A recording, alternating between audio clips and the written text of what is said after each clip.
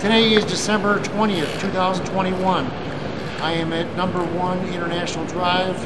We're the Cobra Center and we're at column line HX2. Uh, this is a men's bathroom, one toilet, one urinal. Uh, they did remove one urinal and two sinks. Uh, this line was completely backed up when we got here. Uh, this clean out is outside the bathroom, approximately 15 feet. This goes south uh, we did get this line cleared. Uh, we had no visual whatsoever when we got here. No sense of putting the camera in it. So I'm going to pull back a little bit once we get started. Um, the jetting is done. We got this 99% clean. So we'll be able to see what we have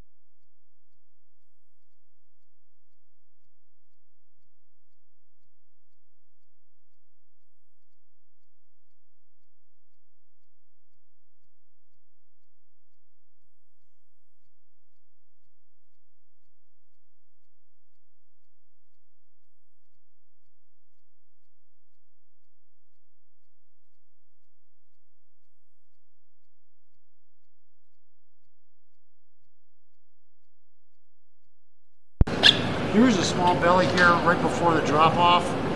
See where it drops in on the line right there. See water's coming up.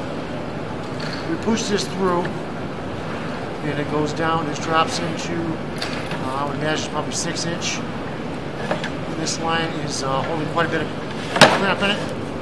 You can see it right there. But this line takes out a little water we put into it. I'm not sure which way that goes. We couldn't get the uh, to go in there, but you can see it appears to be clear.